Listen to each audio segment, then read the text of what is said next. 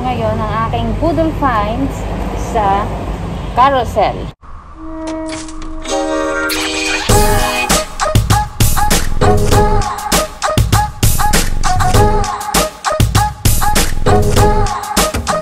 So, ipipick up ko yung aking um, bibilihin na uh, rustic rustic vase. Vase siya. Ganito ang itsura niya.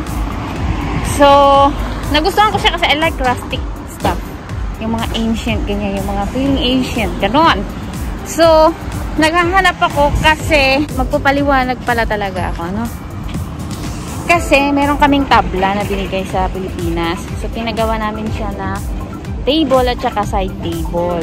So, feeling ko malungkot siya. Kaya, hahanapan ko siya ng partner. So, a good partner will be like a base, right? So, nagtingin ako kanina sa carousel. Kasi yung mga base ko doon is maliliit. Hindi siya bagay. And also, at the same time, meron kasi akong box na hindi pa puno. So, I think it's a good excuse, di ba? Para magpabudol sa carousel. So, sana worth it yung ibabayad kong $25. $25 is around 900 pesos. So, let's see if this is a good poodle. Ha? So far naman, lahat naman ng mga napopurchase ko dito sa carousel is all worth it. Kaya, kaya naman pagka kailangan ko ng mga things na I don't really want to pay so much money, dito din ako, ano, dito din ako nag-shop. Sa surprise yung sarili ko for this, ano, Boodle finds at carousel. So, let's go! A few moments later. Alright, ang bongga. So, for $25, abay, good purchase na this. Look at that. So, it's big. Tama lang sa size na hinahanap ko. And, dito ako na, no, natuwa kasi, you know what, guys, isa nito is 990 sa IKEA. Even at Courts, it's 690 ang isa nito. Isang tangkay lang, ha. And I got 1, 2, 3, 4, and 5. Two smaller ones. Three big ones plus two smaller ones. It's a, ano,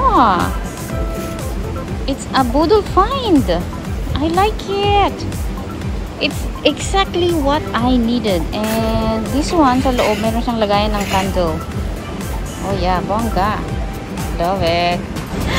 Ang bongga ng kanilang kondo, ang laki, oh. So, it's self-collect. Ayoko na kasing magpa, you know, magpa-deliver. Pwede naman pa-deliver, pero additional. So, syempre, wag na ako. And, I am so happy.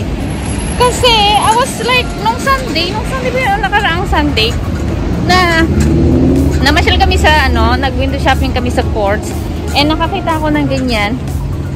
Pero initially, gusto ko talagang bumili. And sabi ko kay B, bibili ako ng isa niyan at hahanap ako ng magandang cylinder, uh, transparent na, vase. Uh, I mean, hindi siya mahirap i-maintain. So, and I got five! It's another worthy purchase from Carousel! Yahoo! Love it! Kahit pagod na ako, no? Di baling pagod, basta masaya. 100 years later. Good morning, everyone! Good morning!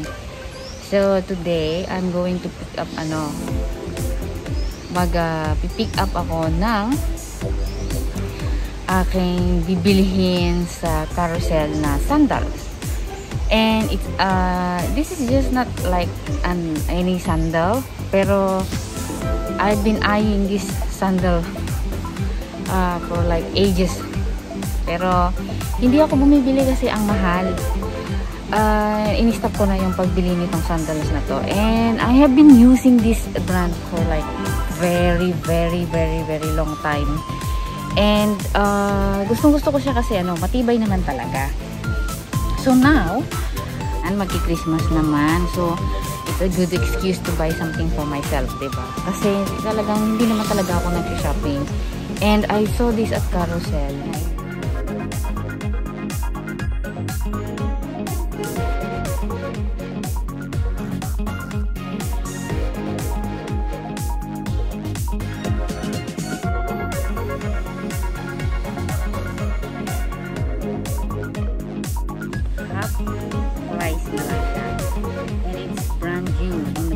Pick it up kasi for me, it's like I'm free naman. So, I'm going to pick it up. And let's go. Samahan niyo ako. Puntahan natin ang aking um, bibilhing sandal.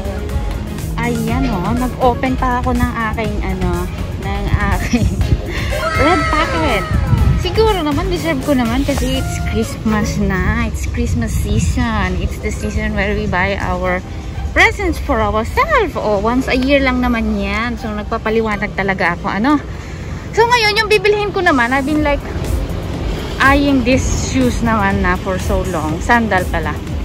And dahil uh, uh, half price naman na siya and it's new so I think it's about time for me to get a new one dahil halos naman nasira-sira na ang mga sapatos ko and at the same time hindi pa naman ako talaga bumibili this year. So it's a present for myself. And I like collecting my my ano purchases. Mas gusto ko yung pinipick up ko. Well as you see medyo malayo guys yung nilalakad ko. Ayan ang bongga ng mga bahay dito.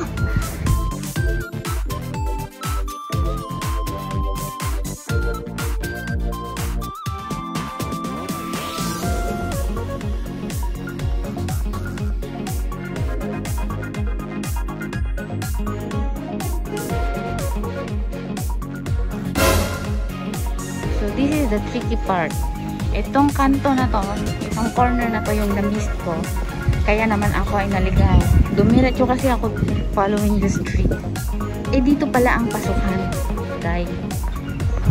So, mayroong ang tawag niyan, small na nakakalokang ano, corner.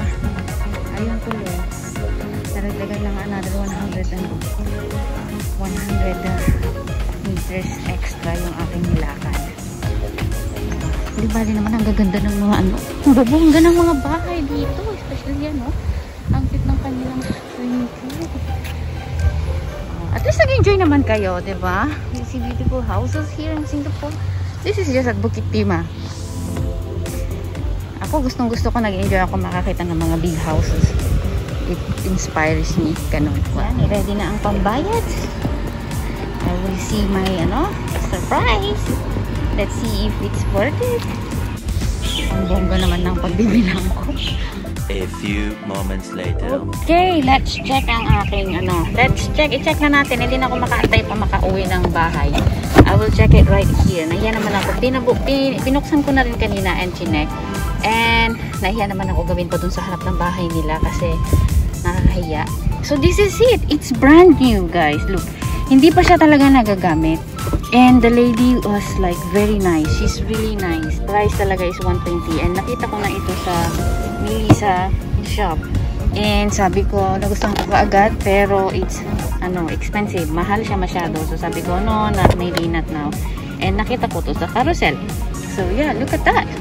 I'm really happy and happy pa ako sa mga ganong namimit kong mga nagbebenta sa carousel kasi they are very humble, very nice people. Look at that! It fits perfect. Yung paa ko na lang talaga ang ano, kailangan ng pedicure. Ang ganda, di ba? Look! It's brand new, it's glittery and shiny, and I'm happy. Yay! Look at that! That is, ano, Melissa, Melissa Rider. Oh. Nakabudol ako, ah. Oh. Nakatipid ako, guys, ng $70. Look, ang ganda. Ang ganda ng sandal. Yung paa ko na lang ang hindi maganda. Yay! The, the first tip na i-share ko sa inyo is bago kayo pumili, i-check nyo muna yung mga ano, mga seller, ganyan. I-check nyo kung ilang years na silang verified, kung kamusta ang mga feedbacks or mga reviews sa kanila as a seller or mga um, buyer, ganon. So, pag nakita nyo naman na medyo maganda naman ang kanilang mga reputasyon, ibig sabihin, uh, pwede silang pagkatiwalaan. Kasi, syempre, mahirap, mahirap baka mamaya may scam ka, di ba? So, sell. And also, dapat alam mo yung product na bibilhin mo. So, titingnan mo mabuti kung original ba yan, authentic ba yan, or ano. Makikita mo naman sa picture pa lang na ibibigay nila. And also, ito yung pang third, yung pag nag-ask ka ng questions or you ask for more photos or kaya addresses or dimensions, sizes, ganyan, and if they don't hesitate to like respond to you, then ibig sabihin mababait sila. Kasi may mga taong ano eh, post lang, tas isang picture, tas hihingan mo ng sizes or dimensions or stuff like that. Mag-ano sila, magsusungit, susungitan ka. So, pag yung seller is mabait and nagre-respond ka agad pag nagme-message ka or meron kang inaas na question, yeah, go for it. Yun nga, mapag ano lang, mapag uh, usisa. Usisain mo ng mabuti yung bibilhin mo, lalo pa kung mahal. So, syempre, wag bili ng bili. Dapat din double check mo din kung tama ba yung ano, yung sizes na talagang para sa iyo or kung uh, authentic ba yung bibilhin mo na na mga bagay or yung purchase mo, ganon. So, dapat alam mo din kung ano yung mga bibilhin mo. Kung otherwise, magtaka ka, hindi mo kasi din-double check. Minsan, kasalanan din natin. Ganon. Kaya, kailangan mapag ano lang. No, hindi naman masamang mag-usisa kasi babayaran mo naman, hindi mo naman hihingiin eh. So, tama lang din naman na minsan magtanong ka, ganyan. Ayan, magbababay na ako. O, tingnan nyo, suot ko na siya. So, sobrang tuwa ako, no? Ayan ah. Salamat sa inyong lahat. Hindi pa kayo nakaka-subscribe. Don't forget to subscribe, like, and share.